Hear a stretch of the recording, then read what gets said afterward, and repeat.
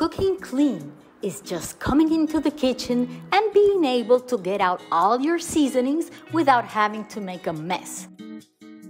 We use a mandolin to slice thinly if we want to. We can chop our vegetables. You'll all have them frozen and your food will taste delicious.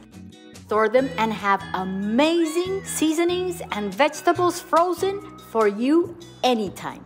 Enjoy cooking with no mess.